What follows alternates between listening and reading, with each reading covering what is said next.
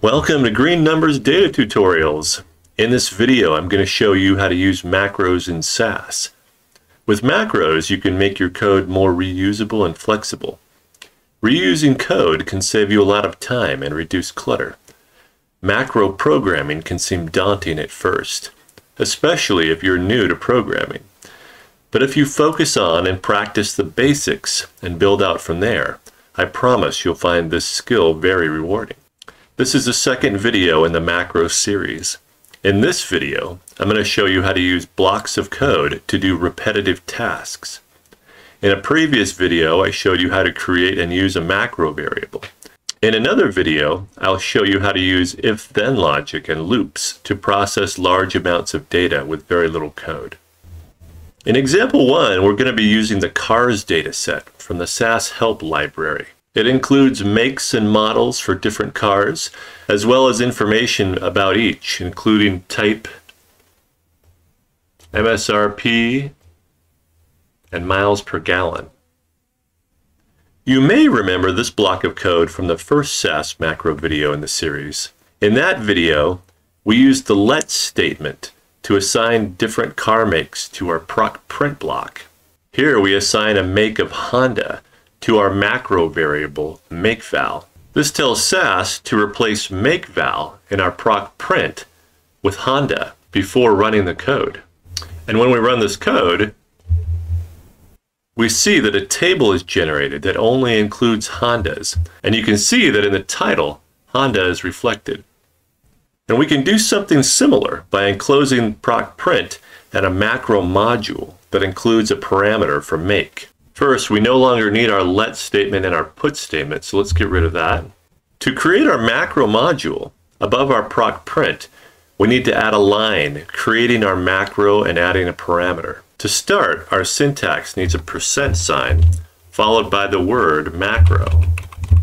Next, we need to name our macro. Let's call it print makes. Because we're going to be adding parameters, we need open and close parens. The parameter we're going to include is the name of a macro variable that will store the make of the car we want to print in our table. We already have a name for our macro variable in our previous code. So let's just use makeVal. Let's copy this and paste it in here. It doesn't have to be makeVal. We can call it whatever we want. But the important thing to note is that whatever we name it in the macro statement, we have to name it the same thing in the code. We end the macro using the mend statement, starting with a percent sign, then the word mend, then the name of our macro, print makes. We could leave out the name of our macro in this example and just type percent %mend. But as you progress, you might want to include a macro within a macro. So it's good practice to include the macro name in the mend statement as well. So let's make this a little bit prettier by indenting this proc print block. Now we could run this code as it is. And if we look at the log, it simply outputs the code to the log screen. And you can see it didn't run proc print. In order to run this code, we need to call this macro. The syntax for doing this starts with a percent sign, followed by the name of the macro we're calling. Let's copy this and paste it down here. And inside parens, we tell SAS the name of the make we want to use in our proc print. Let's use Toyota. And let's end this with a semicolon as always. No, we already ran this macro code, so it has already been compiled and is ready to use without running it again. And we can call this macro from any line of code in this SAS session. It doesn't even have to be used in the same SAS program. We could open another SAS program and run it from there. And when we run this code, we see our table in the results tab, and it includes only Toyotas and the title lists Toyota, just like we expected. So what if we wanted to run one for Ford? So we can keep our Toyota line. Let's copy that and paste one below it. This one, let's type in the word Ford. Now, when we run this, we see our table again, but this time with make of Ford and with the title of Ford. And in our code, anytime we want to run Ford, we just highlight this line and run it. Anytime we want to run Toyota, we highlight this line and run it. And if we wanted to look at Chevrolet, we could either replace Toyota with Chevrolet and run that, or we could create a new line down here that says Chevrolet.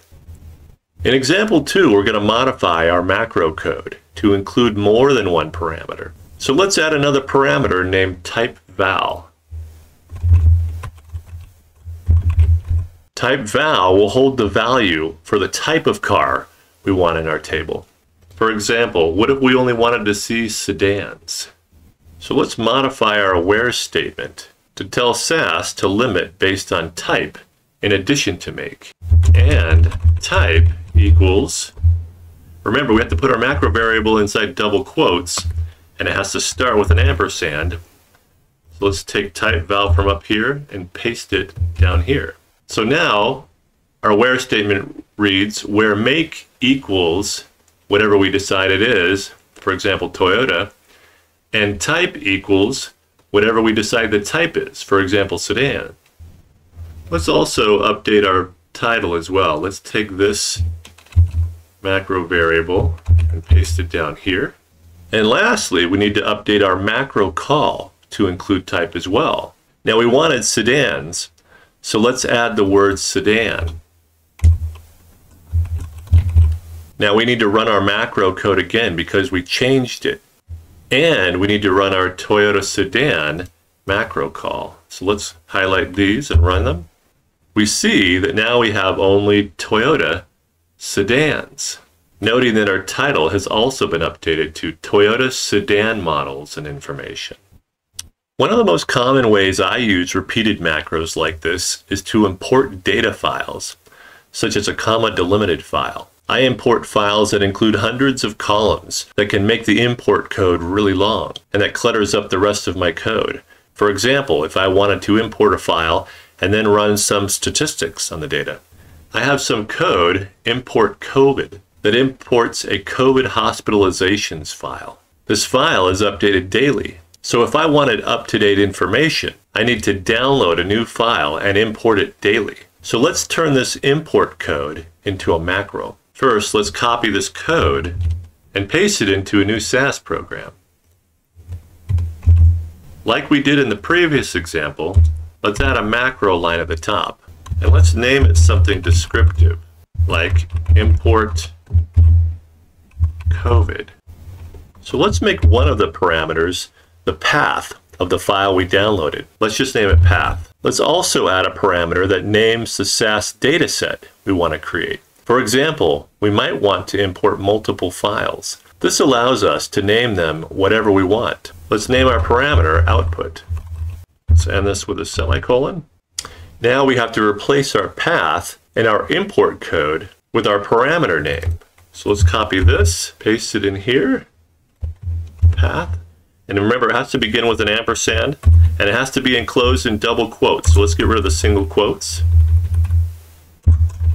We also have to update our SAS dataset name right here with our parameter macro variable output. And again, we need to include the ampersand in front of it. Lastly, we need to end our code with the mend statement. So let's copy this name of our macro, go down to the bottom, percent mend macro name. So let's make this a little bit prettier too. Let's highlight this and indent it. Now let's run this code so it's compiled and ready to call. Oops, I added a space between the percent and the macro. Let's get rid of that. Let's try this again. There we go. Our log shows no errors and it's ready to go. So this code is already really long. Let's not add something to the end of it. So let's call this macro from our example SAS program under example 3. Let's again copy the name of our macro. So percent sign name of our macro, open and close parens. Now remember, the first parameter was the path. Let's make this easy and go into our original code and grab this path from here. And we'll paste it into our macro. Then we need to name our SAS dataset. Let's call it COVID-1 and end it with a semicolon. Go back to the beginning. So let's run this. And if we look in our log, we see that work.covid1 was created with 19,653 observations. And if we go to our output, we can see what our data look like.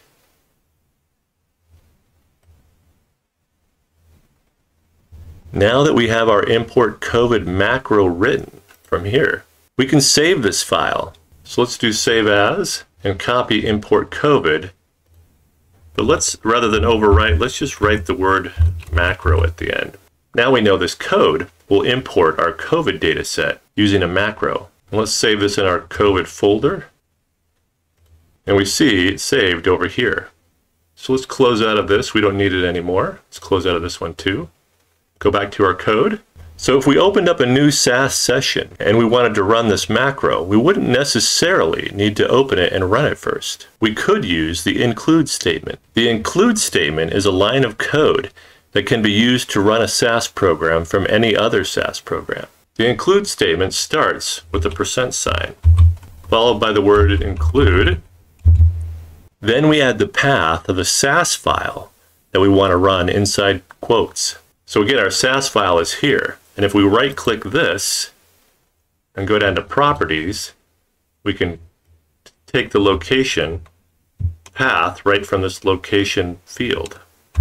And then we can paste it here inside quotes. And it ends with a semicolon as always.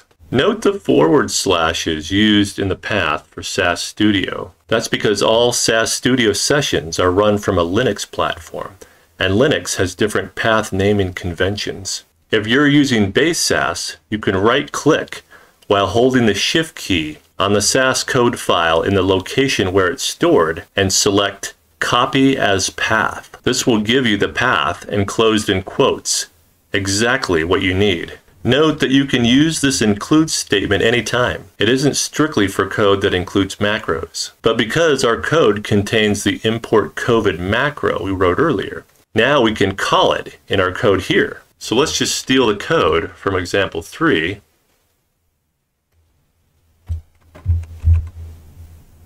and paste it under our include statement here because it's the same macro call. Just to show we can, let's update our output dataset from COVID-1 to COVID-2. So let's run these. We see in the log that work.covid2 was created with 19,653 observations, just like COVID-1. And again, if we look at the output data, we see that our data were imported, just like they were before. And that's it for this video. Hopefully you learned something about how you might use this information to make your code more efficient and concise. Be on the lookout for other SAS macro videos where I show you how to create and use a macro variable and how to use if-then logic and loops to process large volumes of data with very little code. If you found this video useful, please give it a thumbs up and be sure to subscribe to get more content. Thanks for watching.